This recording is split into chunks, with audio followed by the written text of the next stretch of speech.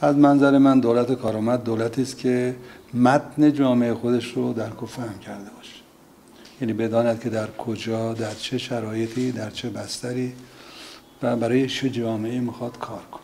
دوم اینکه قادر باشه متناسب با اون جامعه و اون رویکرد اهدافی که داره یا نهادسازی کنه یا نهادهای موجود رو در همون مسیر بتونه به کار بگیره و به خدمت بگیره و ایجاد یک فضای هماهنگ کنه.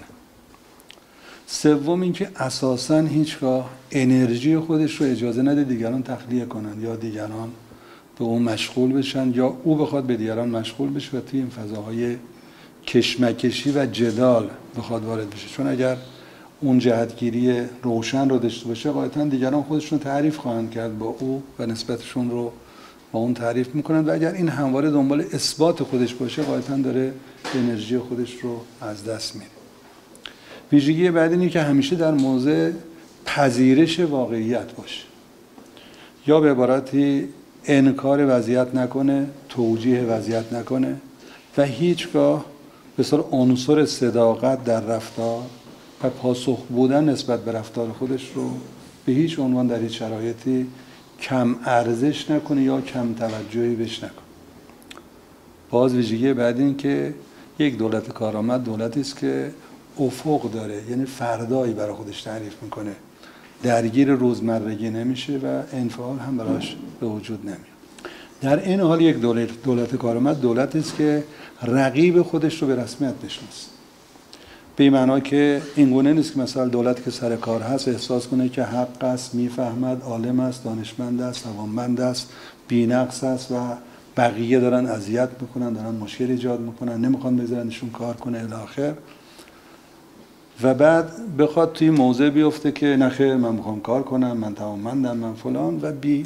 به جایی که ظرفیت و پتانسیل خودش صرف اقدام و عمل کنه بر مبنای همون روی کرده برنامه هاش درگیر پاسخ دادن به حاشیه ها بشه. دولت کارآمد از نظر من دولتی است که شجاعت پذیرش مسئولیت اوضاعی که مطلوب نیست رو بپذیرن. یعنی چی؟ یعنی بگی که آقا من ناکارآمد بودم که این وضعیت به وجود آمد و من باید نمیگذاشم اتفاق بیفته. این شجاعت پذیرش کاستی ها نواقص و تلاش برای جبران اونها دال بر کارآمدی است. دولتی کارآمدی که قادر باشه روی مسائل اساسی جامعهش ایجاد اجماع کنه. ببینید ما انتخابات برگزار می‌کنیم. معمولا محصول انتخاب انتخابات باید همبستگی و یگانگی و انسجام و به سمت وحدت رفتن باشه. ما هر انتخابات برگزار می‌کنیم درست نقطه مقابلی رو نتیجه می‌گیریم. دعوا شروع میشه کشاکش شروع میشه حتی که افشاگری پرونده سازی نمی‌دونم یقه گیری خب شروع میشه. چرا؟ چون ما قادر نیستیم روی مسائل اصلی جامعهمون ایجاد اجماع کنیم. منشه مسائلمون رو قادر نیستیم درست تحلیل کنیم علل و اسبابش رو در بیاریم. وقتی این نشه ما داریم دعوا می‌کنیم. روی چی دعوا می‌کنیم؟ روی رویه ترین لایه مسائلمون همیشه دعوا می‌کنیم کار با علل و اسباب مسائل نداریم که ما همواره همین مسائل رو داریم با همین مسائل داریم جلو میریم. فقط کول کردیم هر روز بارمون رو سنگین‌تر می‌کنیم. ما چند سال گرفتار ریزگردا هستیم. چند سال ما دنبال این سیلاب های موسمی هستیم. چند سالی که ما همواره از این مناطق مختلف فلان میشه چند سال ما تو این تهران دچار همه مشکلات و مسائل هستیم. چند سال ما فقان هزار درجه بالا می‌بریم که مثلا فرسون سرانه مصرف ما سرانه سوخت ما سرانه فلان به ما مثل فلانه. میگیم ما بنزه چین داریم مثلا میگم بنزین مصرف می‌کنیم. آلمان 80 میلیون ماشین داره ما 18 میلیون داریم. آلمان کمتر از ما سوخت مصرف می‌کنه. خب کی باید به این مسئله بپردازه؟ معلوم نیست. ما یه هنری هم داریم تو گم کردن مسائل. یعنی به عبارتی یه کاری می‌کنیم که تلاش می‌کنیم یک مسئله دیده نشه همون کپک و برف و دیده نشدن ما خیلی علاقه مندیم این وضعیت به وجود بیاد. یعنی مسئله یک صورتی پیدا کنه که یا پاک شده باشه یا با یک مسئله دیگه جایگزین شده باشه. اگر ما این ذهنیت رو حالا دولت مردان ما داشته باشن خود به خود میشه ما در یک چرخه افتادیم که دائم داریم تکرار میشه نیروهای بازیگرهای عرصه کیا هستن؟ عناصر تاثیرگذار در سرنوشت مردم کیا هستن؟ نه همش که من نیستم که من دولت. همه هستن تو این کشور شورای نگهبان هست تو این کشور رهبری هست تو این کشور قانون اساسی هست تو این کشور سازمان بازرسی هست تو این کشور مجلس هست تو این کشور ائمه جمعه جماعت هستن تو این کشور بچه های جوان انقلابی مطالبه گر هستن تو این کشور ضد انقلاب وجود دارد تو این کشور مخالف وجود دارد تو این کشور مهدیت منابع هست تو این کشور خیلی جاها کسی که در موضع قدرت قرار می‌گیره نمی‌تونه همون چی می‌خواد رو اعمال کنه خب هست دیگه اگر ما بگیم آقا هیچ مشکلی نباشد من مثل آقا بیام قشنگ یک فرش قرمزی هم باشن اینجا حرکت کنم برم بالای تخت و تاجم بنشتم اونجا هم همه رعیت محسوب بشن همه هم اونجا تحت هم باشن همه هم مطیع و پیرو باشن. خب منو می‌خوان چیکار خب خودشون یه همچین وضعیتی خودش مسائل خودش رو حل می‌کنه. نیاز به من دولت نداره.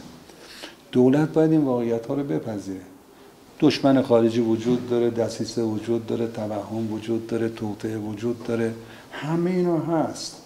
من وقتی دارم می‌خوام متعهد بشم باید تو ذهنم بگم همه این عوامل که عوامل مؤثر و تعیین کننده هم هستن وجود دارن این محیط تماما در اختیار من نیست که من بخوام اونها رو در اختیار بگیرم کنترل کنم مدیریت کنم.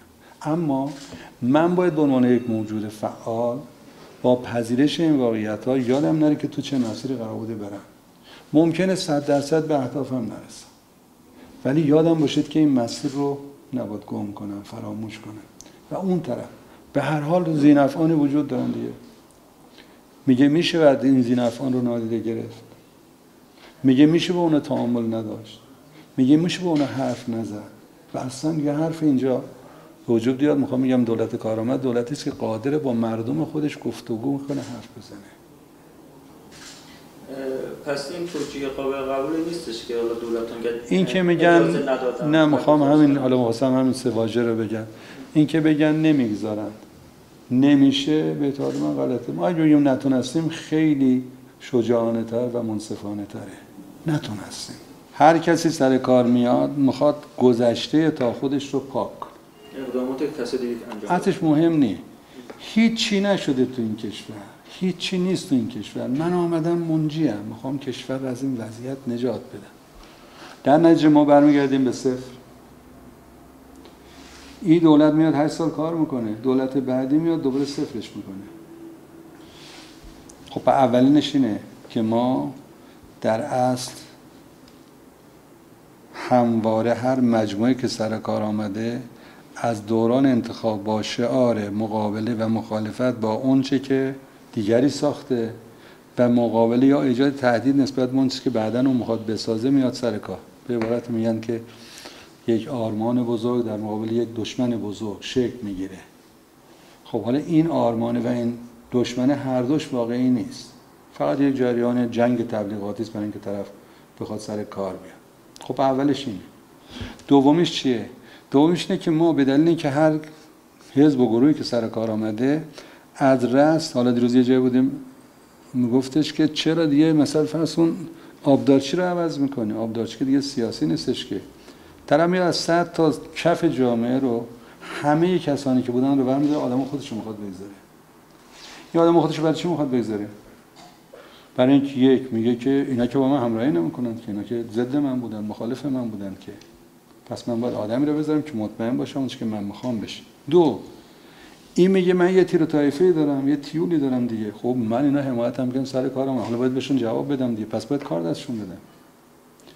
نتیجه میشه چی؟ میشه اینکه ما به جایی که هر روز که جلو میریم تجربه گذشته ما دستمایی برای حرکت اصلاحی ما بشه ما این تجربه رو خود به خود پاکش می‌کنیم. اینم که در اختیار اون نمی‌گذاره که. نمی‌گذاره. شما الان برید تو هر اداره و هر دستگاهی که می‌خواد برید نگاه کنید.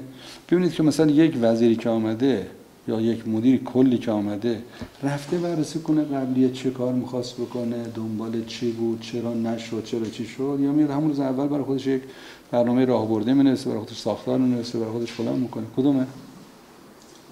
خب یعنی چی؟ یعنی ما هر روز داریم از صفر شروع یعنی چی؟ یعنی تجربه توی به منطق مدیریتی ما کنه وجود نداره. یعنی چی؟ یعنی یادگیری انجام نمیشه.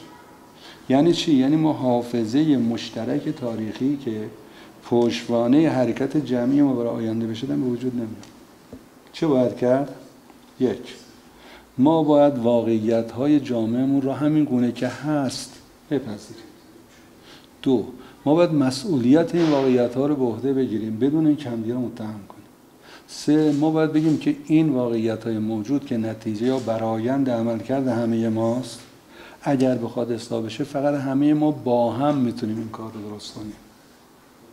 با هم درست. کنیم نکته بعدی میگیم واقعا توانمندترین شایسترین افراد مهم نیست که کدوم جناح ها کدوم گروه کدوم حزب باشه.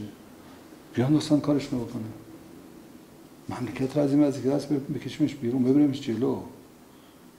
ما با این متهم سازی ها با این جدال های سیاسی با این نزاع عمیق ریشه دار شده عرصه سیاسی کشورمون همینه. من زور می‌زنم اون نباشه من باشم اون زور می‌زنه من نباشم اون باشه. حالا چه برای مردم چه دست داره؟